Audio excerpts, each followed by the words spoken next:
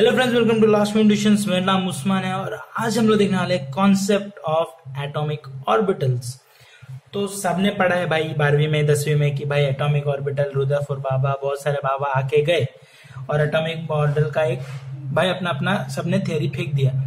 तो भाई अपने को क्या पढ़ना क्या एक्चुअली इसमें? तो सीधी सी बात है भाई एटॉमिक ऑर्बिटल मतलब क्या?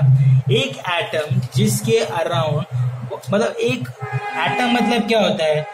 जिसके बीच में न्यूक्लियस होता है और उसके बाजू में इलेक्ट्रॉन अपने चक्कर काटते रहते हैं। तो सीधी सी बात है, मैं एक बात बता देता हूँ, आपने जो भी पढ़ा है ना, सब गलत है। जो पढ़ रहे हो, वो भी गलत है सब, ठीक है? तो सीन क्या है आपका कि अपन लोग अंडरस्टैंड करने के लिए, अपनी सिंप्लिसिटी के लिए एक थ्योरी प्रपोज करते हैं, ताकि बाकी सब भी अंडरस्टैंड कर सके कि फिजिक्स के लॉ कैसे चलते हैं मतलब नेचर कैसे चलता है। तो भाई, इन लोग ने जब प्रपोज किया तो उन लोग की थ्योरी के हिसाब से?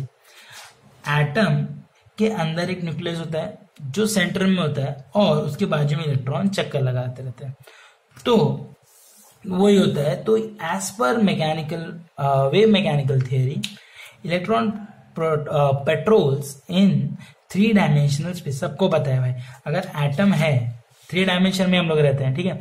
तो अगर एटम है तो स्पेस में मूव करेगा थ्री डायमेंशनल स्पेस में, है ना? प्लस एक इलेक्ट्रॉन भी है जो उसके अराउंड घूम रहा है। मतलब किसके अराउंड? न्यूक्लियस के अराउंड घूम रहा है। वो भी थ्री डायमेंशनल स्पेस में घूम रहा होगा। Around the nucleus sometimes near the nucleus और अवे मतलब देखो, आपने बहुत सारे एनिमेशन देखे होंगे भाई, जिसमें ना ऐसा रहता है कि सेंटर में ऐसा न्यूक्लियस रहेगा और बाजू में ना सब बहुत सारी चीज़ें घूमती रहती है ऐसे ऐसे। ये एनिमेशन बहुत सारे लोगों ने देखा होगा। ऐसा इलेक्ट्रॉन ऐसे घूमते रहते हैं इसके आजू बाजू बहुत सारे एनिमेशन आपने देखा होगा, जहाँ तक मैं जानता हूँ। तो ये सब दिखाने के लिए, ये सब सिंप्लिसिटी के लिए, देखो, यहाँ पर भी बताया कि भाई इलेक्ट्रॉन नज़दीक आता है न्यूक्लियस के, फिर दूर जाता है। सीधी सी एग्ज़ाम्पल क्या पता है आपका? सबसे बेस्ट एग्ज़ाम्पल इस सब के लिए, आपका सोलर सिस्टम अभी देखो, ये सन है और ये अपना अर्थ है, ठीक है? सन के करीब अर्थ आता है कभी कभी कभी दूर जाता है। तो वही चीज़ अपने एटम्स में भी चालू है मतलब इलेक्ट्रॉन्स में भी चालू है। इलेक्ट्रॉन्स यहाँ पर समझो अपना अर्थ है और अपना न्यूक्लियस है अपना सन, ठीक है? न्यूक्लियस में न्यूट्रल चार्ज होता है, ठीक है? न्यूट्रल मतलब क्या? न्यूट्रल, न्यूट्रॉन होता है, प्लस प्रोटॉन होता है, और बहुत सारे चार्ज होते हैं। तो अपने को वो सब नहीं पढ़ना है सीधी सी बात है। अपने को सिर्फ़ इतना कॉन्सेप्ट देखनी है एटॉमिक ऑर्बिटल है क्या? तो वही बता रहा हूँ, एक एग्ज़ाम्पल समझ लो अपना सोलर सिस्टम उसमें इलेक्ट्रॉन आपका क्या बोलते हैं? अर्थ है और सन है आपका न्यूट्रॉन प्लस प्रोटॉन ठीक है? तो इसी से ये लोग ने बहुत सारी थ्योरी दी। तो क्या बोला समटाइम्स वही होता है कि भाई, कभी नज़दीक आता है तो कभी दूर जाता है, पर ऑर्बिट में घूमता रहता है, ना कि उसके बाहर चला जाता है। अब so we can say that electron occupies a relative vast space vast space around the nucleus अभी ये चीज़ समझने के लिए वापस से अपना बात कर। उन लोग के बीच में देखो, बहुत जगह है भाई, बहुत ही जगह है तो ये ऑक्यूपाई करके रखा है। किसने? अर्थ के अर्थ ने इतनी जगह ऑक्यूपाई की कि इसके बीच में कोई भी हो भाई, इसका ये हो, क्योंकि इसके दायरे के अंदर है वो। तो मतलब इसी का है। तो वही बोल रहे कि बहुत स्पेस ऑक्यूपाई किया है। ठीक है? बिटवीन उन लोग के बीच में। It has been found the probability of finding electron around the nucleus is maximum in space and it is called as atomic orbital देखो, ये सब चीज़ ट्रू नहीं है। इलेक्ट्रॉन एक्चुअली होता क्या है, पता है क्या? एट न्यूक्लियस होता है, उसके बाजू में इलेक्ट्रॉन घूमते रहते हैं, बहुत बाजू में मतलब उसके आजू बाजू में ऐसे बोलते हैं ना, घूमते रहते अपने को पता भी नहीं है वो। ये सब थियोरी है, इन लोग ने बताया कि भाई ऐसे घूमेंगे, और ताकि ऐसे, देखो, मैं एग्ज़ाम्पल दिखाता हूँ। ऐसे एक्चुअली में ऐसे घूमते हैं, जो कि अपन आगे पढ़ेंगे तो फ़िलहाल मैं इतना डिटेल में जाता हूँ। फ़िलहाल आपको सिर्फ़ बता देता हूँ कि है क्या है फिर अपन डिटेल में जाएँगे, ठीक है? तो क्या है कि एटॉमिक ऑर्बिटल क्या होता है? मैक्सिमम कहाँ मिलेंगे? कि उन लोग के बीच में मिलेंगे। किस बीच में? जो स्पेस है ना, उस, उसी के बीच में कहीं पर तो इलेक्ट्रॉन मिल जाएँगे। किसके? न्यूक्लियस और इलेक्ट्रॉन के बीच में जो स्पेस है न्यूक्लियस और, ये देखो, ये स्पेस है ना न्यूक्लियस इलेक्ट्रॉन के जो बीच में स्पेस है, इसी के आसपास इलेक्ट्रॉन मिलेगा और कहीं नहीं मिलेगा। ठीक है?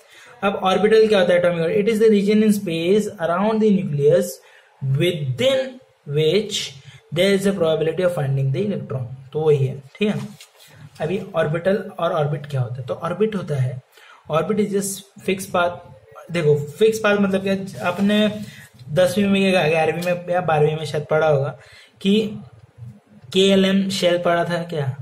शायद पढ़ा ही होगा, ठीक है?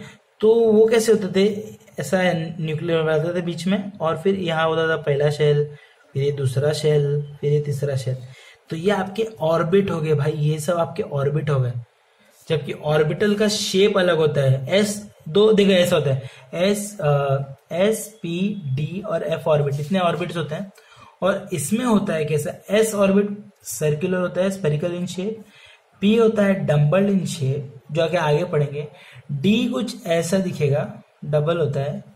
और एफ़ भाई भलता ही होता है कुछ। वो तो भाई बहुत डिफ़िकल्ट है बनाने के लिए तो बनाते भी नहीं है। ठीक है? इतना सब है, आगे पढ़ेंगे, पर मैं बता रहा हूँ ऑर्बिटल का ऐसा शेप होता है, जबकि ऑर्बिट का नहीं होता, ठीक है, वो प्लेन में होता है। अभी वही लिखा है पे it represents the region in space around the nucleus in ways the probability of finding the electron is maximum अब यहाँ पर क्या the represent it represent the planar motion of the of an electron planar motion एक plane में घूम रहा है, जबकि ये प्लेन में नहीं है थ्री डायमेंशनल मोशन होता है। अराउंड द न्यूक्लियस अब और ऑर्बिटल्स आर सर्कुलर सीधी सी बात है और ऑर्बिट्स आर सर्कुलर है ना? बट यहाँ पर क्या होता है कि सिर्फ़ एस ऑर्बिटल एक स्पेरिकल शेप में है, जो मैंने बताया, और बाकी सब क्या है? डम्बल शेप में. ठीक है? ये इसको डम्बल शेप बोलते हैं. अब orbit do not have directional characteristics मतलब क्या इसमें डायरेक्शन का कुछ महत्व नहीं है. बट एक्सेप्ट एस में, बाकी सब में डायरेक्शन मतलब एक्स वाई के ओरिएंटेशन में काम करते हैं सब. तो वो सब होता है बाकी सब में बट इसमें नहीं होता। अब लास्ट पॉइंट क्या है? All orbits can accommodate electron up to किसी ऑर्बिट क्या इलेक्ट्रॉन अकोमोडेट कर सकता है two into N raise to two where N is the quantum number ठीक है? तो ये आपको पढ़ना बिल्कुल भी नहीं है फ़िलहाल। कुछ इंपॉर्टेंट नहीं है आपकी फ़िलहाल टॉपिक से। अगर इंपॉर्टेंट होगा तो मैं उसमें वीडियोस बना दूँगा। ठीक है? कोई टेंशन नहीं है उसके ऊपर। तो यहाँ पर ये होता है इसका वैल्यू बट किसका ये वैल्यू होता है? इलेक्ट्रॉन कितना अकोमोडेट करेगा एक शेल में? तो मैं अगर आपको एग्जांपल बताऊँ, पहला शेल में कितना अकोमोडेट होगा? तो टू इंटू वन का स्क्वायर तो कितना? टू तो दो इलेक्ट्रॉन अकोमोडेट होंगे। अब दूसरे ऑर्बिट में कितना होगा? टू का स्क्वायर तो कितना होगा ये? टू इंटू फोर जो कि होता है एट तो यहाँ पर आठ आएँगे। तो यहाँ पर क्या होता है कि भाई, ये बताता है, ये formula as per orbit but जब ऑर्बिटल की कंडीशन में आप लोग आ जाते हैं तो ऑर्बिट में ऐसा कुछ नहीं होता। हर एक ऑर्बिट दो इलेक्ट्रॉन लेता है। मतलब क्या? एस देखो एस भी दो इलेक्ट्रॉन लेगा, टू एस इसको ऐसा नहीं रिप्रेजेंट करते। एक अबो प्रिंसिपल है, वो आपको मैं आगे बताऊँगा। उसके हिसाब से हम लोग इलेक्ट्रॉनिक कॉन्फ़िगरेशन करते हैं किसके? ऑर्बिटल्स की।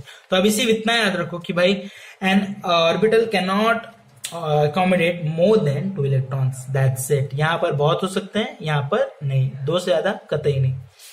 अब इसके आगे आता है शेप ऑफ़ द ऑर्बिटल्स तो भाई शेप ये मैं बता रहा हूँ एक्चुअल कंडीशन क्या है और जो हम लोग सीख रहे हैं मतलब जो हम लोग बोलते हैं ना, एक अप्रोक्सीमेशन से हम लोग बता रहे हैं कि भाई ये ऐसा हो सकता है। तो ये यही चीज़ बताती है।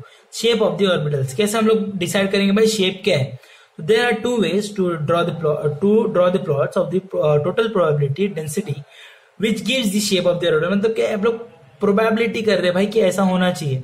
तो चार्ज क्लाउड ये हम लोग देख सकते हैं। ये हम लोग को स्कोप से इलेक्ट्रॉनिक माइक्रोस्कोप से दिखता है भाई ये। चार्ज क्लाउड दिखता है। कैसे? इन दी डायग्राम तो प्रोबेबिलिटी डेंसिटी ये होता है आपका प्रोबेबिलिटी डेंसिटी का साय इसका नाम क्या है? पी एस आई साय ठीक है? ये होता है प्रोबेबिलिटी डेंसिटी का। ये वेव इक्वेशन वेव फ़ंक्शन आपने पढ़ा होगा तो पता होगा, नहीं तो छोड़ो यार, नहीं पढ़ा है तो इतना याद रखो, ये वेव प्रोबेबिलिटी डेंसिटी होता है। कुछ याद नहीं रखने का वेव वेव क्या है? भूल जाओ।